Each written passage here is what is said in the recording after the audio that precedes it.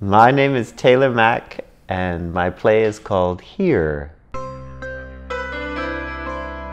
The title is a metaphor. The play is not really about gender, and sometimes that confuses people, but you know, I often say it's like the goat or who is Sylvia is not about a man who has sex with a goat. The title um, is a third sex gender pronoun uh, that a, a, lot of transgender people were using in the 90s. Um, a lot of people are creating their own, like my friend Justin Vivian Bond has created V, and I use Judy as my gender pronoun. There's lots of different options, but I chose to go with the, the 90s one because it's pronounced here, and um, I, I, I, enjoy that, uh, that slight confusion um, and the duality of of something being about gender and also being about place. The prodigal son returns and everything is different. Isaac's sister is now his transgender sibling. His father, who ran the house with an iron fist, has had a stroke and is now debilitated. And his mother, who was a battered wife, is now in charge and thriving.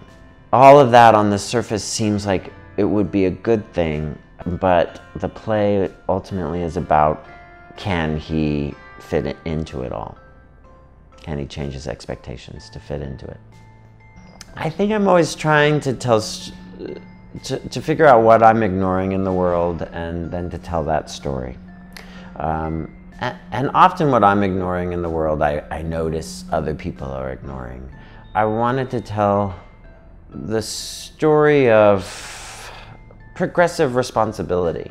We often uh, get so wrapped up in, um, in how things should be that we, we don't often consider uh, what the casualties are. I grew up in this small town that, it's not a small town, a small city that, that was really dysfunctional. I wanted nothing more than to get out. Because of my queerness, I felt like I was able to get out. And so many people like me would always leave. Um, I have all these friends that are wonderful activists in the world, but they've, um, they've, they're all living in New York City. and San Francisco, the Bay Area, where all the progressives and the liberals are, because it's more fun and more interesting. But meanwhile, then the rest of the country just kind of exists in this cesspool. so, so i w- I've always kind of thought, what's my responsibility towards trying to make that world better? Do I have one? Do I let them just uh, live in their juices? But I mean, at the at the same time, I was a kid and I wanted somebody to come and help me in that environment.